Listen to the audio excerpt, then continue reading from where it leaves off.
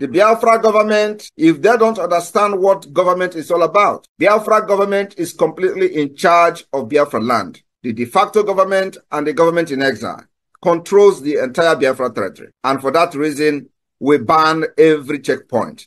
And when we continue to say, when we ban checkpoint, stay away from checkpoint because the day it will happen, nobody will tell you. Anybody crying today that uh, they kill military in Aba, you are an idiot. The people that were killed in Aba are terrorists. And that's exactly what they are. They have killed Biafrans enough, and we applaud whoever that did it. It is a military that are infiltrated by terrorists, and terrorists they are. We have seen the killings of Biafrans for many, many decades, and nobody has, you know, done anything about the killings of Biafra people. And like we continue to say, anywhere you are in Biafra land representing Nigeria, carrying gun as a military, as a police, as any security agent in, uh, under Nigeria in Biafra land, Biafra does not belong to you. You are staying there illegally and you'll be treated like a terrorist because that's what you are. This is the order of the Biafra Republic government in exile and the Biafra de facto government in the homeland. We have Biafra Defense Forces that are taking care of all the security situation in our land. Our target is to make sure we neutralize every armory of Nigeria within Biafra territory because that's where power to commit terrorism, out of terrorism against Biafra people are happening. We have been warning about Obinze because there they have freezer where the body parts of Biafrans are being kept. One day they will wake up and Obinze is gone. I swear to God. So, guys, there have been some debates here and there. If um, Nnamdi Kanu is released, whether Simepa will step down, but that's not what we're going to start with. I believe we brought that video where Simepa was actually warning the Nigerian government that anybody that dares to violate the law of the Biafra government will collect and let them not say that the Biafra are killing the soldiers because they've sent them the warnings. And also, Nnamdi Kanu was saying why is um, why Nigeria will never pass the way they are is because they adopted the history or let's say the, the culture of the outside outsider that is the british people and not their own culture. And then he asked the question can he go to let me say to london now to create a state there? Can he go there to give them rules? Can he go there to do this one? And the answer was no. And now the question is now why did they allow the british people to come and give us the way of living give us the laws give us the rules to follow that that's the reason why nigeria cannot get better because the foundation is bad and that's why he's fighting for this biafra and fighting with his life. I would like you guys to just watch this video and hear what Nnamdi said. and their and their class of intellectuals is the fact that they are willing to swallow hook line and sinker anything the colonial master gives to them. And i've asked you this very question can you go to Europe and create a country as a black man? The answer is no. Then why must you accept what a white man is doing in Africa? Do you see why we are poor and very backwards? Do you see why Nigeria can never have 24 hours of electricity? Never, ever, ever, ever. Because the foundation is faulty. The orientation of Fulani Janja, people were protesting SARS killings in the south. Fulani people in the north were busy having fun and laughing and smiling and you want to be in the same country with them.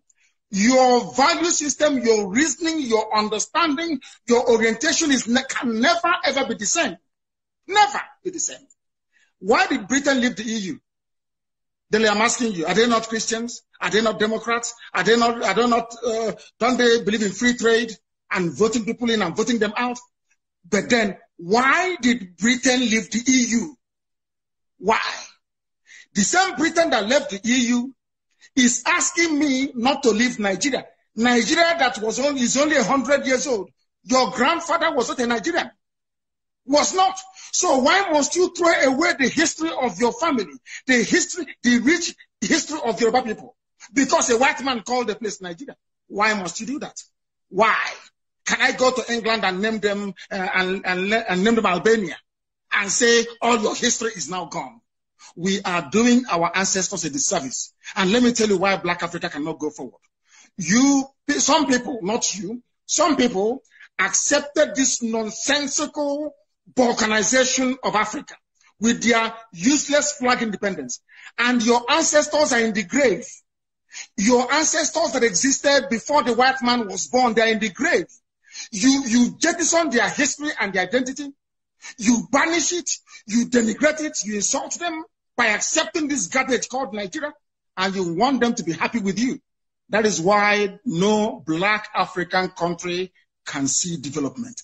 So, guys, that was actually the scenario or the reasons why the country is like this, why Nigeria is like this. Because see we left our own tradition to follow the tradition of someone else that's not been a Nigerian.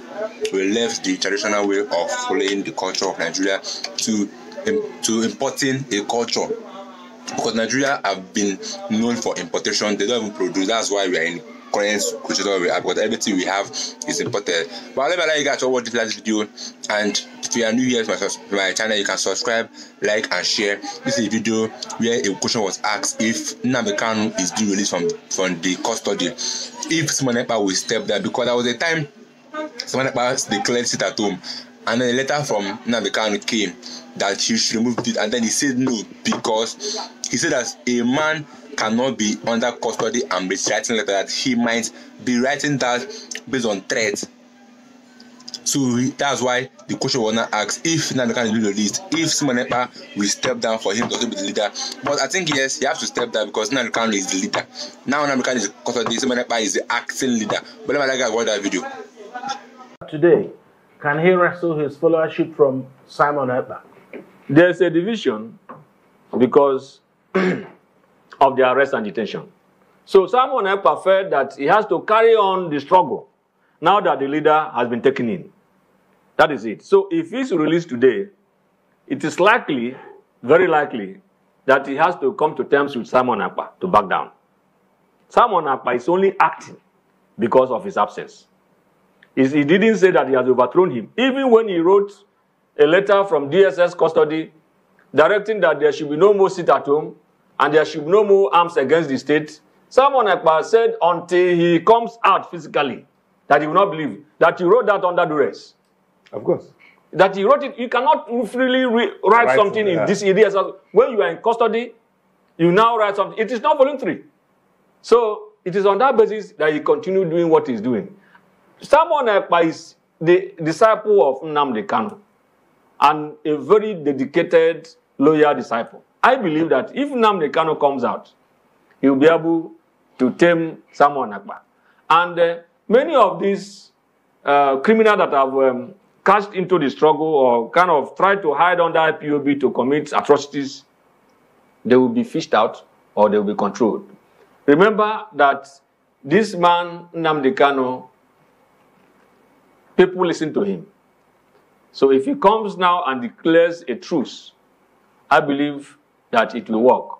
And those who try to violate that truce will easily be fished out. They'll be sidelined. They'll be they, they, they'll be exposed. Now, people are picking up arms out of resistance or protest to his extraordinary rendition. That is it. Before he was extraordinarily renditioned, there was no spate of violence like we see after his arrest. So it is a kind of protest against the way the state has treated him. So I believe that if he should come out now, all that will abate. But let me also say that the president of the Federal Republic of Nigeria is not entitled to be listening to one person or the other as to whether or not he will exercise his powers under the Constitution. Section 174 of the Constitution, subsection 3, like my learned friend pointed out earlier, only gave three conditions for the exercise of the power of withdrawal of criminal prosecution. He says that the Attorney General should only give vent to three factors. One is public interest. The second one is interest of justice. The third one, to ensure that such withdrawal is not against due process of law. And then we are talking about justice here. Interest of justice. It is on that basis the president must act, no matter what any of his commissioners thinks, no matter what any Southeast governors think, in the interest of justice. Because if you can release a, the, the chairman or leader of uh, Miat that has been saying all kind of terrible things against Nigerian state. You release him, you withdraw his charge, and he goes home, and then you release Showore, and he goes home. You release Sunday Boho, withdraw his charge, and he goes home. Then where is justice? Where is equity? seriously where is the equity and where is the justice because Nnamdi Kanu needs justice you can't um, set those people free people that did worse than what Nnamdi Kanu did and they were set free and yet Nnamdi Kanu is in custody that doesn't show equity and justice that shows inequity and also injustice so I think the government should do something about it. This is something that has been happening for months now that they should let Nnamdi Kanu go but yet nothing is being done. But I like you air your view in the comment section. Let me know what you video in the comment section. Don't forget to subscribe share and i'll see you guys in my next video